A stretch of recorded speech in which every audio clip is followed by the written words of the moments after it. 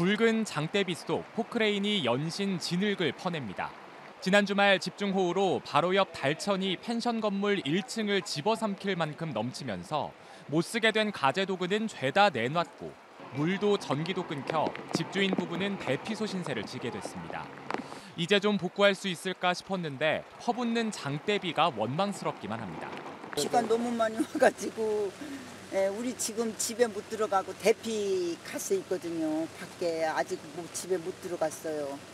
전기도 안 들어오지 물도 안 나오지. 영업은 두차치고 우선 와서 정리를 하면서 살 수 있게 됐으면 좋겠어요.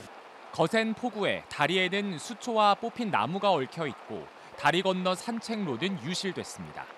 집중호우로 하천물이 넘치면서 하천 바로 옆에 있는 집을 집어삼켰는데 이렇게 폭격을 맞은 듯 건물 외벽이 송두리째 뜯겨져 나온 모습입니다.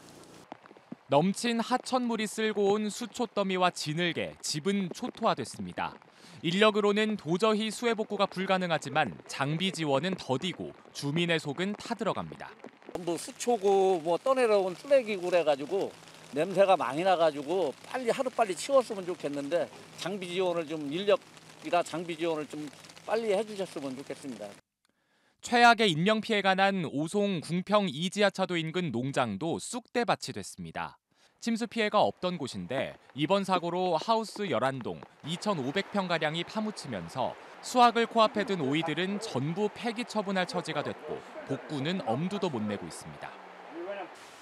사람이 한순간에 이렇게 가게 만든다는 게 이렇게 된 거 보니까 뒷감당이 안 돼요 지금 어떻게 해야 될지도 모르겠고 앞으로 어떻게 또 살아가야 되는지도 모르겠고 충북에선 2,700헥타르 넘는 농경지가 피해를 입었고 공공시설은 240여 건, 사유시설은 380건 넘는 피해가 접수됐습니다.